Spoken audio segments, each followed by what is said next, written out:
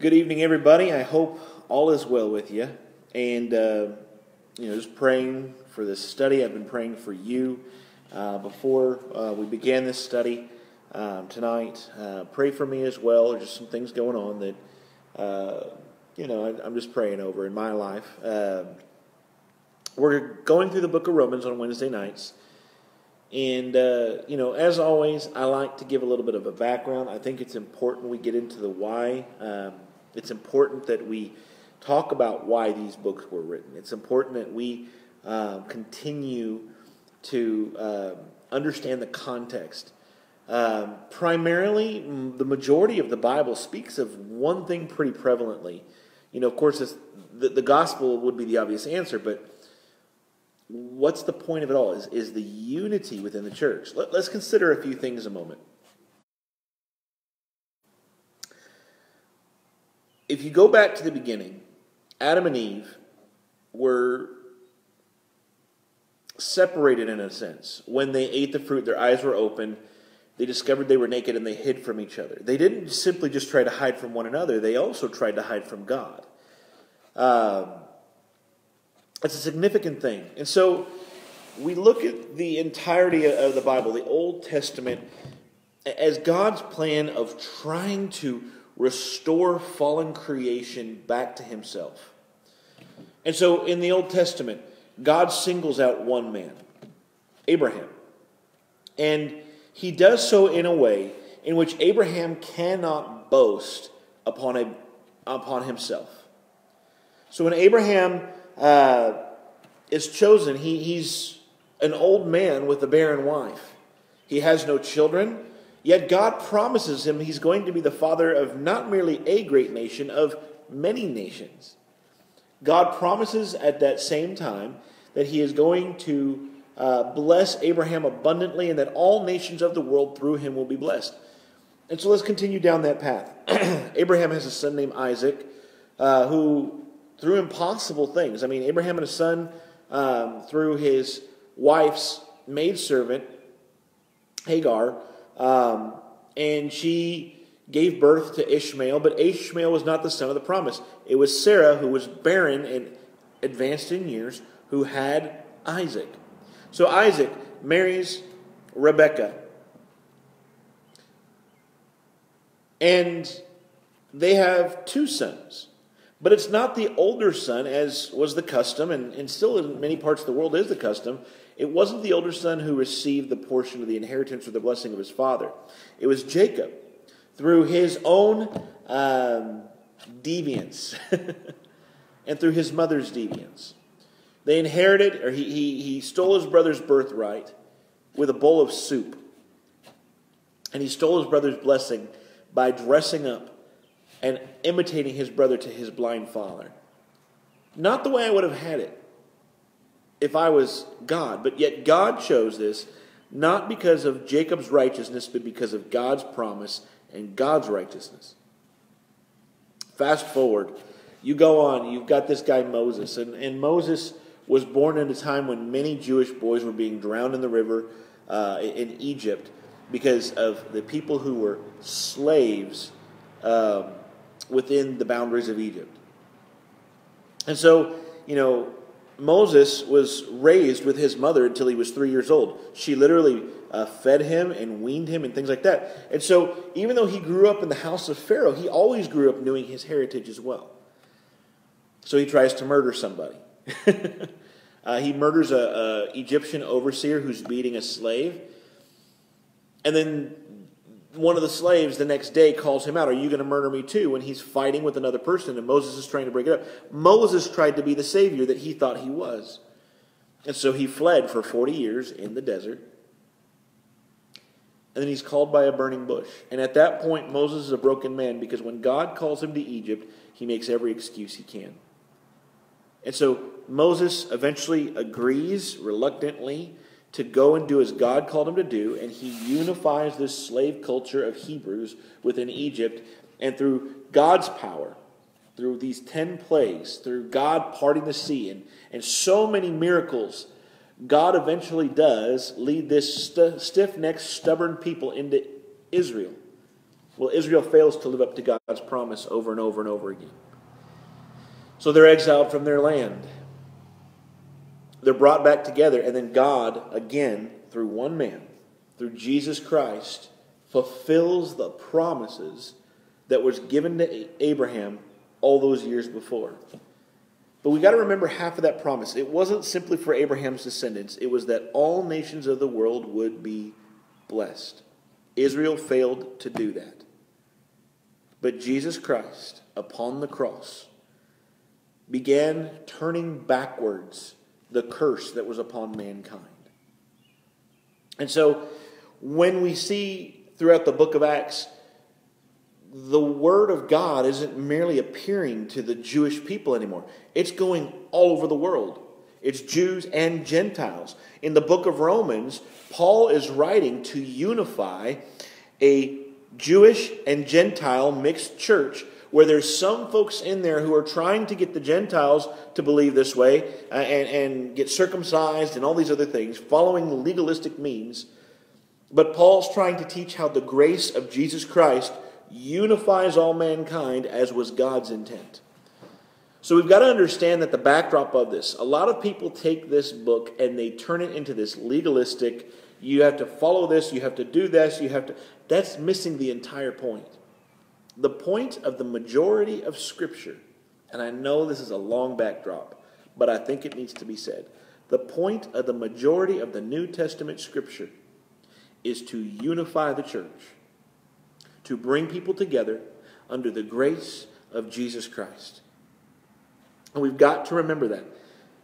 Part of the reason why, in chapter 1, we talked about last week, he said, The righteous shall live by faith. He was trying to speak to the legalists.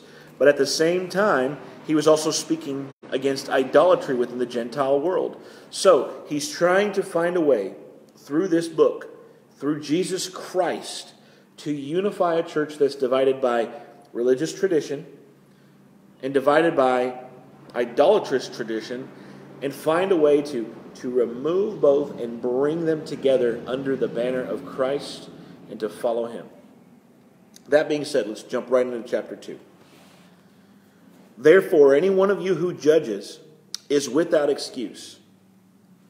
For when you judge, remember, he was talking in the last chapter, we just talked about this, about uh, legalism and about idolatry. Therefore, any one of you who judges is without excuse. For when you judge another, you condemn yourself, since you, the judge, do the same things. What's he talking about here? We have to make judgment calls every single day. Let's think about that. There are times we have to discern if there's a place we need to be or not. There's times we have to make judgment calls about certain people who are healthy for us to be around and certain people who are unhealthy for us to be around. When I first came back to Christ as a young man, I had a group of friends that I loved dearly. I had to tell them all, though, because every time I was around them, I didn't like who I was when I was around them. So I'm going to have to make a change. I'm not going to ask them to change. I need to make the change. And I said, I love you all, but I just can't be around you anymore. I wasn't being judgmental against them. I was judging myself. I was judging who I was becoming, the language I would say, the things I would watch, the things I would do. And so, having changed myself, I was not judging them, if that makes sense. Ooh, excuse me, I'm going to sneeze. Uh, it says, We know God's judgment on those who do such things is based on the truth. When we judge, there's an old saying, and I think it proves pretty true. When you point one finger, there's at least three more pointing back at you. It's talking about condemning others based upon appearance, condemning others based upon ethnicity, condemning others based upon uh, man made judgments. I think, or I hope that makes sense. So when it says here that there's people who are being judged or who are judging and they're going to be condemned themselves, he's saying we look down on our noses at people for basically either the things we do physically or the things we entertain within our own hearts.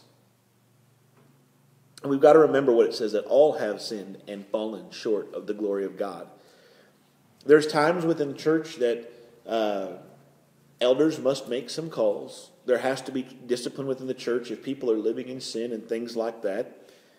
But when we are putting ourselves on this judgment seat and condemning others and looking down on our nose or looking down our nose at them, we're actually calling ourselves into condemnation. because uh, what did Jesus say? The measure you use will be used against you.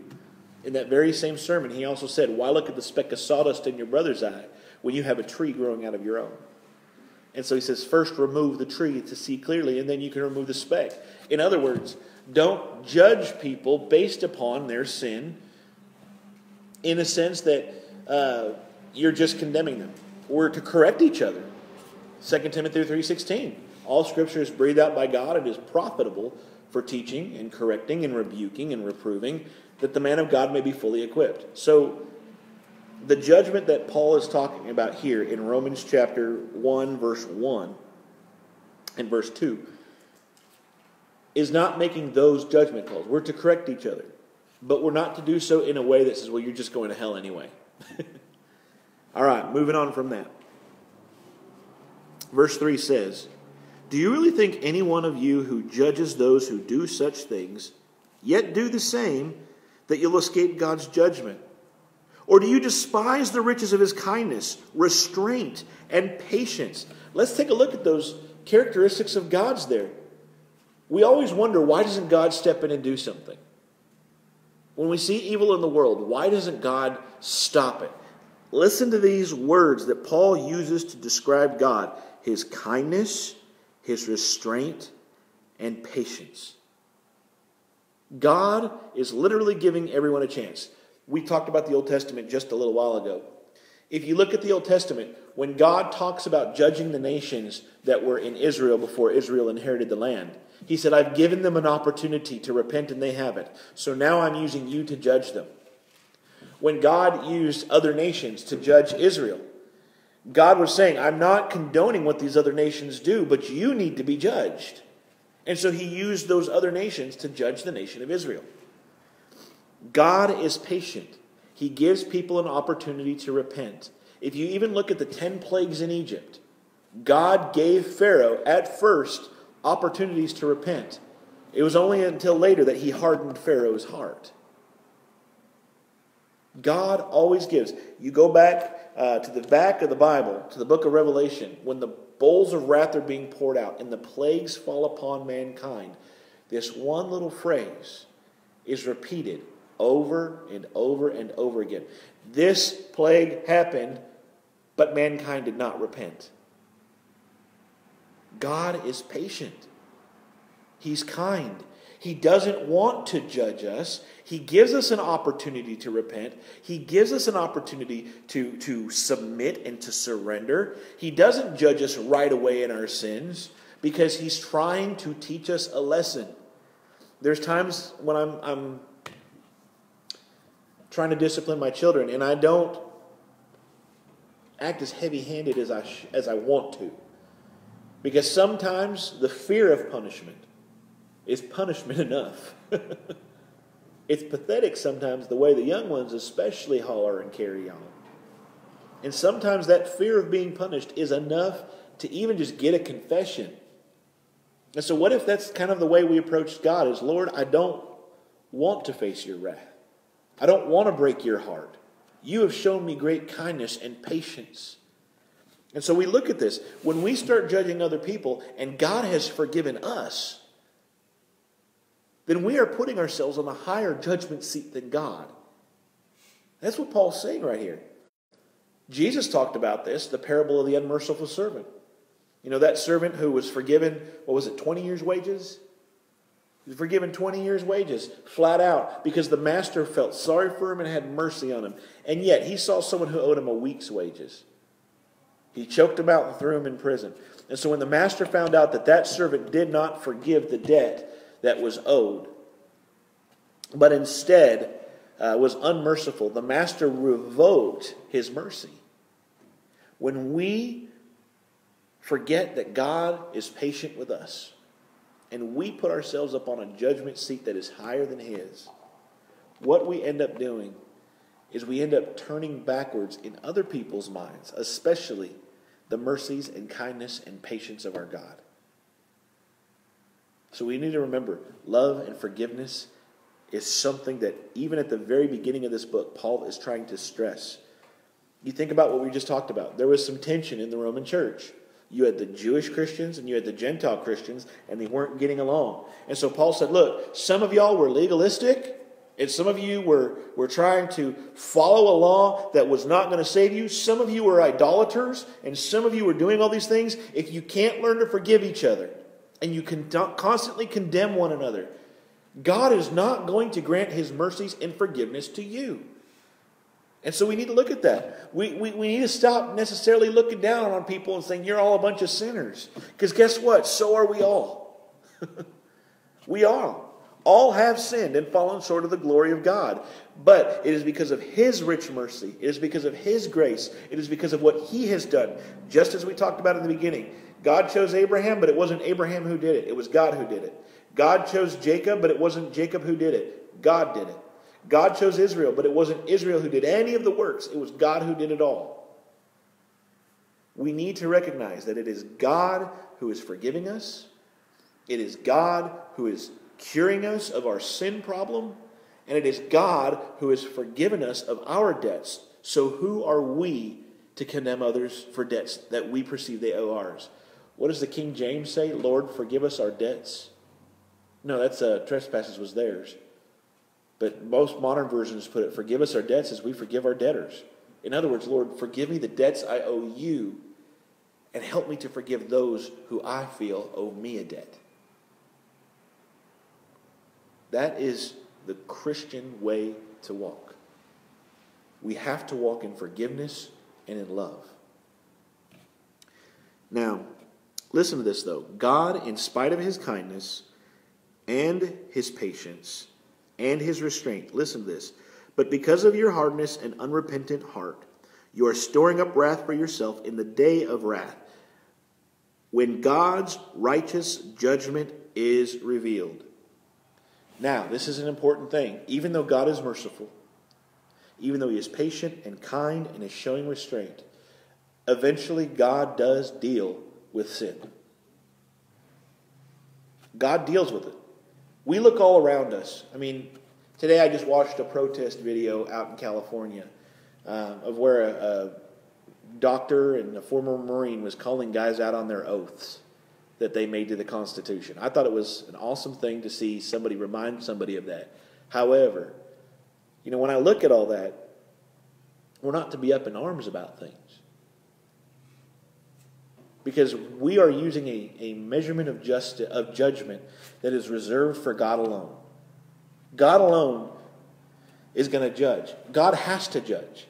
We are looking around and we feel, oh, we've got to do something. We've got to protest. We've got to yell. We've got to shout. We've got to scream. Sometimes maybe we're called to do those things. I don't know.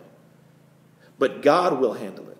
We're going to find out in Romans 12. Paul writes this at the end of it If your enemy is hungry, Feed him. If he is thirsty, give him something to drink, for in so doing you'll pour hot coals over, your head, over his head. And what he says before that, though, he goes, Do not pay anyone evil for evil, but instead leave it up to the wrath of God. For it is written, Vengeance is mine, I will repay, says the Lord. It's not up to us to pay someone back. The Old Testament law, eye for eye, tooth for tooth, all of that was because God is a God of justice. But that was the law of the land. It's not the law of the church. The law of the church is not do back to others what they have done unto you. Jesus actually takes that same law and he twists it to show God's true purpose. The purpose of those laws was to make it so brutal to actually commit a crime, and what is more brutal to commit uh, to, to show the judgment. He wanted to put people in his place. If someone wrongs you and knocks out your tooth, you have to go and do that to them. At that point, most people wouldn't even want to exact justice. And they're saying, God is saying, He's making a statement in those Old Testament scriptures be careful what you wish for. Because I'm going to have to do that someday. And it is not a task that I take lightly. God is a God of justice. He is going to judge righteously, but he's holding back because he is waiting for those who will repent to turn back to him. And if God is that patient, then we need to pray for that patience. Verse 6. Listen to this, and this is hard. He will repay each one according to his works. If we are judging other people, Paul writes earlier in this verse that we are condemning ourselves. So if we are sitting on the judgment seat of God and we are condemning other people, then God is going to judge us by the works that we have done because we are judging people based upon their own works. This is God's moral obligation that he is planning to fulfill himself. Listen, he'll repay each one according to his works, eternal life to those who by persistence in doing good seek glory, honor, and immortality. But wrath and indignation to those who are self seeking and disobey the truth, but are obeying unrighteousness. Let's think about this. Let's break these two different contrasts down. Eternal life to those who persist in doing good, seek glory, honor, and immortality. So, is he saying that eternal life goes to those who do good works? Absolutely not. When we look at the Bible, a lot of people will like to point at churches and say, well, y'all are just a works based church if, if you believe X, Y, Z, and the other. No, I'm going to tell you something. If you are following God and you love Him with all your hearts, the good works are a byproduct of that relationship. You're not going to uh, be a person who is self centered and self uh, uh, uh, seeking. If you think about the way Jesus broke it down, He says, not, you know, um, He'll separate them from the right and the left as a shepherd does the sheep to the goat. And He'll say to those on the right, Come to me and, enter the kingdom prepared for you from the, before the beginning of the world. For I was hungry, and you fed me. And I was thirsty, and you gave me something to drink. I was naked, you clothed me. I was sick and in prison, and you visited me. And the righteous will ask, Lord, when did we do any of those things? He says, and he will look at them and say, Whatever you did to the least of these, my brothers, you've done unto me. And if you think about it, the contrast to those on the left, it's the exact opposite. They didn't do any of those things and were surprised. Why were each side surprised? Because those who were doing the works didn't even realize they were doing righteousness. It was just something they did as they went along the way. It was natural to show hospitality, it was natural to show grace, it was natural to show generosity. It was natural for them. Why? Because of who they knew. They knew Jesus. And because they knew Jesus, they were naturally inclined to doing things that honored him. They were naturally inclined to seek his honor and glory in everything. They sought Jesus, and in seeking Jesus, they did good things to people, not by what they could gain from it, but by who Jesus was. And those who were self seeking, those on the opposite end, they just passed by everything. They were so busy looking at themselves. Listen to this other half. Those who are, are for wrath and indignation. They're self seeking, disobey the truth, and obeying unrighteousness. Doesn't necessarily mean they were bad people. Let's think about that. There's going to be a lot of good people who are going to be surprised on that day because they were so busy worrying about themselves. Let's think about what this coronavirus has really done. And there's a blessing in the middle of all this, in spite of how we feel about it. People have been too busy. They've been roaming around trying to fill every little aspect of their schedule with work, with fun, and with every other with sports and with every other thing they can imagine. People who go to church, but they don't have time to, to sit with God every morning. There's people who say, I don't have time for church, that now have no other option on a Sunday but to log into their, their Facebook or, or a live stream and, and, and see what's going on. We're looking at something that God has given us as a gift. We make ourselves too busy. We pass up great things, godly things, for good things. It's not terrible to be wealthy, it's not a, a sin. It says, For the love of money is the root of all kinds of evil, but being wealthy is not a sin. It's not sinful to be busy, to, to be doing things that are, are helpful for you and your family, to be, to be making money, to support your life. Those aren't bad things. But when we pass up on all those things, or when, we, we, we pass up Jesus for all those things, we're self centered. Let's think about the rich young ruler for a minute. The rich young ruler was a good man. By all accounts, he was generous, he, he honored his parents, he obeyed the Ten Commandments, but he put his faith not in God, but in his wealth and his own means of production. That was the lesson Jesus was trying to teach him. I'm fairly certain that if he said, Okay, Lord, I'll do all that, Jesus would have said, You know what? If that is what you feel like you have to do, but I just wanted to see. Let's think about this for a minute. God gave Abraham a similar test. When God said, Take your only son, Isaac, whom you love, up to the mountain and, and, and sacrifice him. Abraham trusted God so much that he knew that this son that God had promised him would still fulfill all the promises that God had said. He took him up and he even had the knife. An angel had to stop him from doing it and said, A sacrifice has already been provided. What's great about that is a ram was provided, but God already knew that there was an ultimate sacrifice that was provided. Sometimes God asks us and tests us to see how much we really love Him. And it's not for God to know, because God knows our hearts. It's for us to know. That young man went away sad because he knew that he couldn't walk away from everything he had acquired. And good men and good women are living lives of unrighteousness, not because they're doing anything bad, but because they're focused on themselves. And when we are focused on ourselves instead of being focused on God, we're missing the point. Verse 9 says this Affliction and distress for every human being who does evil, first to the Jew and also to the Greek. Now, think about this for a minute. We just talked about that church. Chapter 1, Paul begins by um, breaking down what the, the, the Jewish unrighteousness was and what the Gentile unrighteousness was. So he's saying there are people who think they are going to heaven First to the Jew, then to the Greek, but they are doomed for affliction and distress.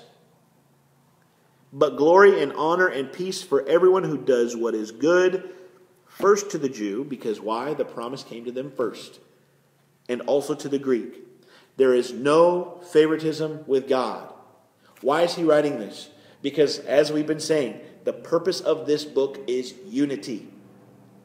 He's trying to say that because you're Jewish, wonderful. You received the promise first. You followed God faithfully first. But these Gentile believers, they've come in now and they're a part of it. God doesn't care if you're Jewish or Greek, you all go to the same reward. Some just might get there first.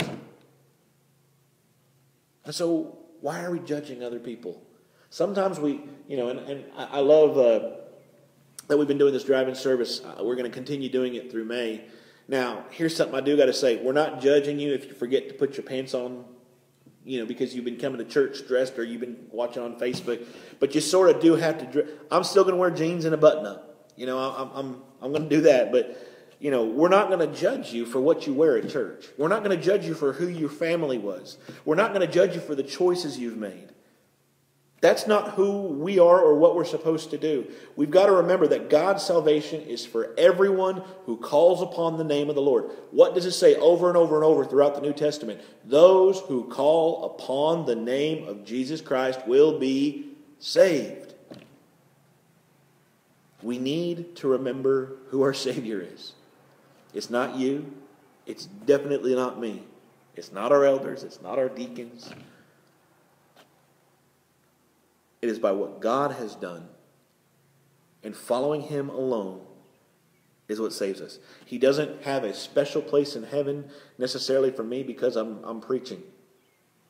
There are certain rewards that are going to be given out. I don't know what those are. I mean, it says in the Bible there's crowns of life and things like that. There's crowns for various things.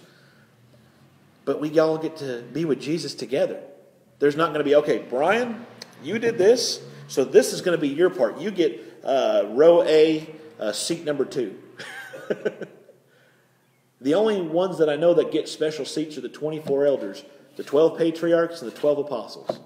Those are the only ones I know who have any special seat. They're wearing crowns, but every night, every day, night and day, they're casting them down before the throne of God because He's the only one that matters.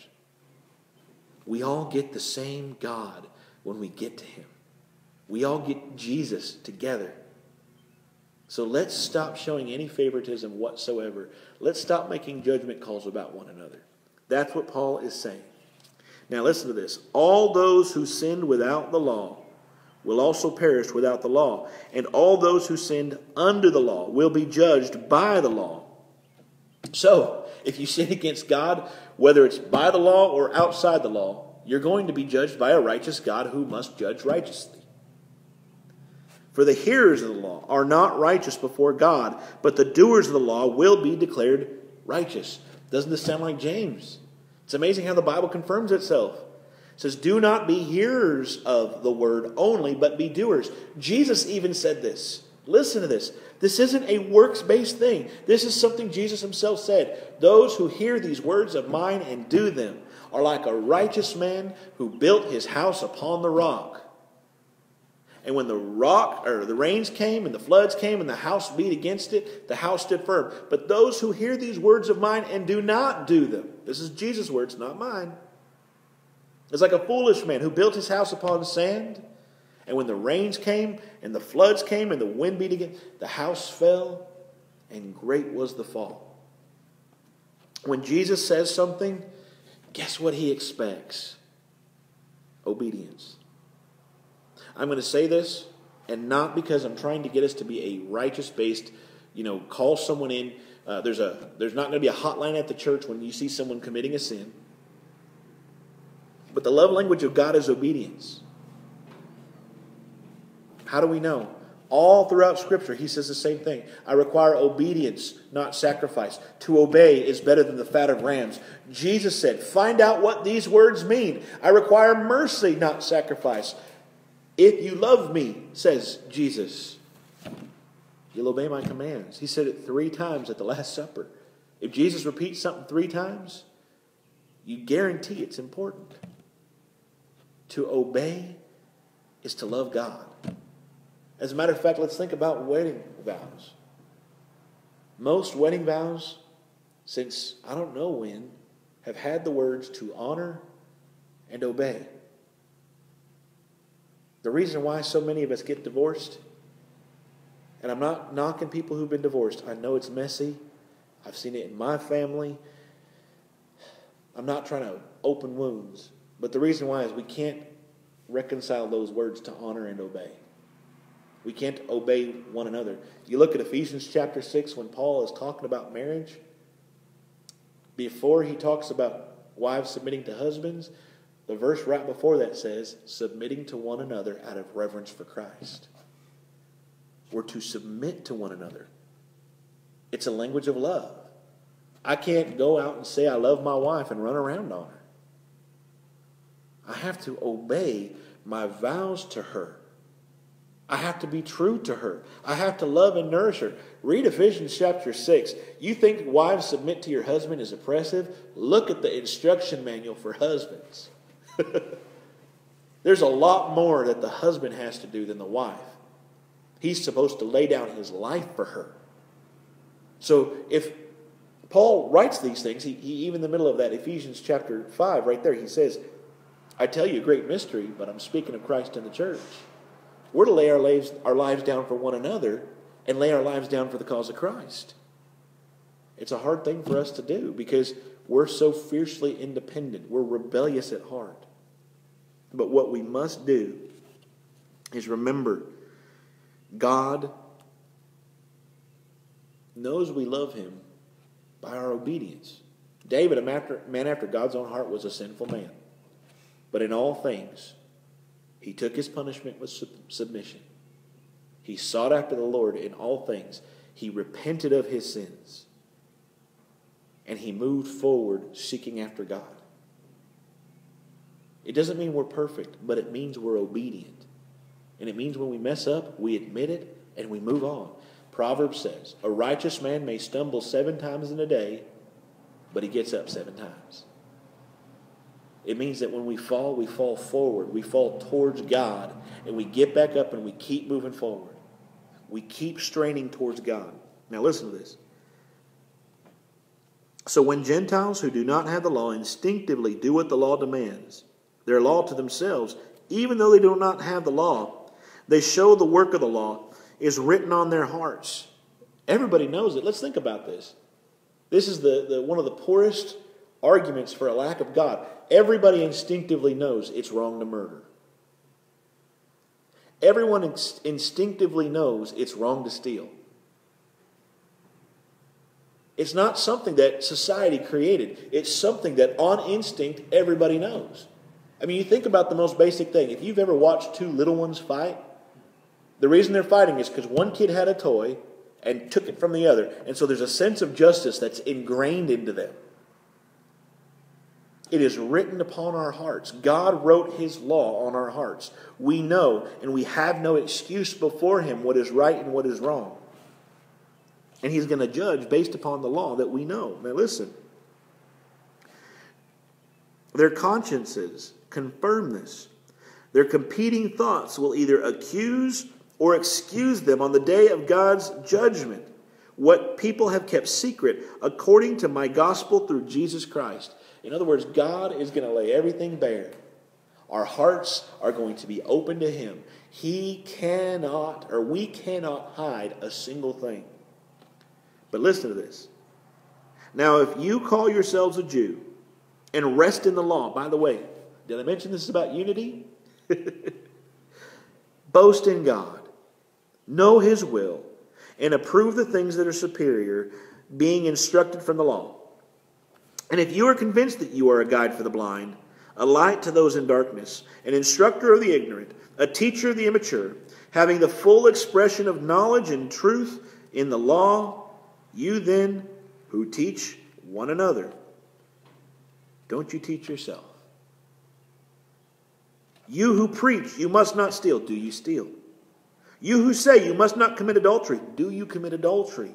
And by the way, how did Jesus define that?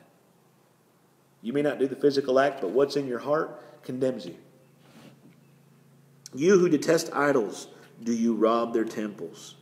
You who boast in the law, do you dishonor God by breaking the law? For it, as it is written, the name of God is blasphemed among the Gentiles because of you. Let's think about this. The things that we judge people for, as Jesus said, as you measure, it will be measured back to you. What Paul is saying here is that the law does not make us righteous. Following a set of rules does not make you good before God. Obedience has to come because you love God, love God, not because you're afraid of punishment. Obedience has to come because you love your father. I, I look at my young ones. I got four boys between the ages of three and nine, and they're always seeking my approval. They're seeking my approval because they know I have expectations of them. And they know I love it when they do good and I detest it when they do bad. When they do good, oftentimes they will get rewarded, even if it's not something they realize as a reward. If they get if they do something that is evil, I'll get them a chance to make up for it. But oftentimes I've got to discipline them for it. We need to make sure that we are not judging people based upon a set of standards that we don't hold to our hold ourselves to. We need to make sure that we are seeking after Christ and Christ alone. The good works we do, as I said earlier, they're a byproduct. They're not the, the, the way to salvation. When we look down on somebody else, we're saying, My, uh, my goodness trumps your badness. When we judge people, we're basically saying, well, at least my sin isn't as great as theirs. Guess what? To God, all sin is equal. and on the day uh, of judgment, if you are judging yourself based upon your righteousness, you're going to fall. But he goes on to this there's hope. He doesn't just simply condemn. He says, For circumcision benefits you if you observe the law. In other words, the whole law. If you judge people based on one aspect of the law, you're going to be judged on the whole aspect of the law. But if you are a lawbreaker, your circumcision has become uncircumcision. Therefore, if an uncircumcised man keeps the law's requirements, will his circumcision not be counted as circumcision? A man who is physically uncircumcised but who fulfills the law will judge you, who are a lawbreaker in spite of having the letter of the law and circumcision. For a person is not who is not a Jew, who is one outwardly. And true circumcision is not something visible in the flesh. On the contrary, a person is a Jew who is one inwardly.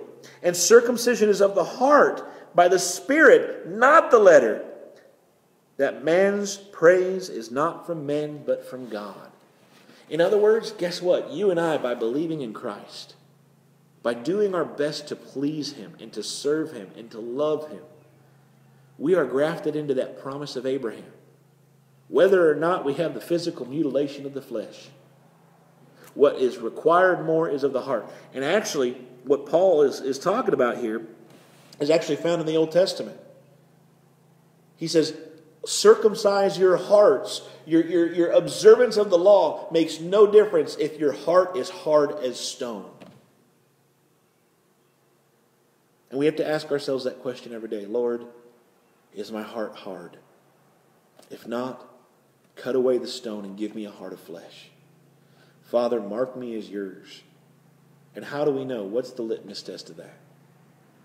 They will know you are my disciples by how you love one another. We will be called righteous based upon how we believe God, not how we observe the law. If you think about this, did Abraham have the law? The law wasn't given until Moses. There was no form of righteousness. I'm, I'm reading the book of Job in my own personal study right now. Job didn't have the law. Matter of fact, when he and his three buddies are talking about why Job must have been punished, it's based on their own righteousness that they're judging Job, based on human standards. We need to stop and step back and ask ourselves, Lord, is my heart hard or not? Now, I'm going to say this. If you're listening to this message and you say, Oh, I wish so and so would watch this,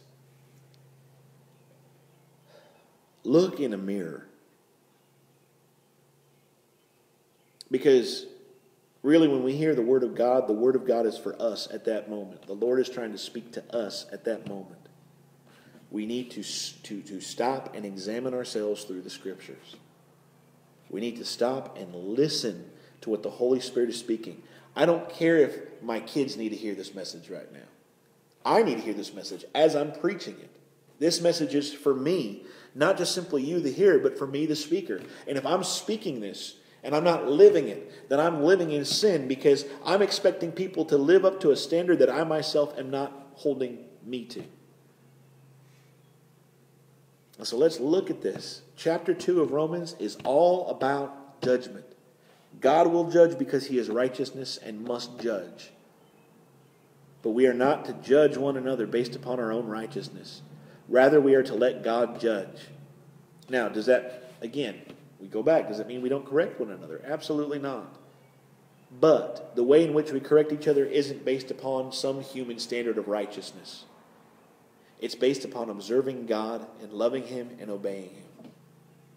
Let's be that people that God's calling us to be.